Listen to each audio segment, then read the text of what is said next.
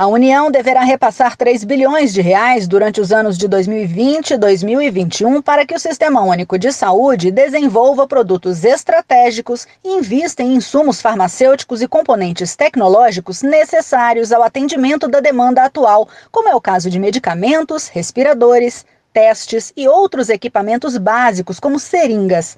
A ideia é fortalecer o complexo econômico e industrial da saúde no país, que tem elevada dependência externa de itens essenciais para o setor. Quem explica é o autor do projeto, o senador Humberto Costa, do PT de Pernambuco. A Covid-19 deixou claro que em nosso país nós temos um potencial muito grande que poderia ter sido utilizado e não foi. O Brasil tem condições de ter autossuficiência na produção de respiradores, na produção de equipamentos de proteção individual e nada disso foi feito. Portanto, o país sofreu nesse momento. O senador ainda afirma que a proposta pode ajudar na retomada do crescimento econômico depois da crise sanitária. Um investimento dessa ordem vai gerar aumento da produção, produção de renda, novos empregos. É uma proposta que tem grande condição de ser um dos fatores de retomada do crescimento econômico no nosso país.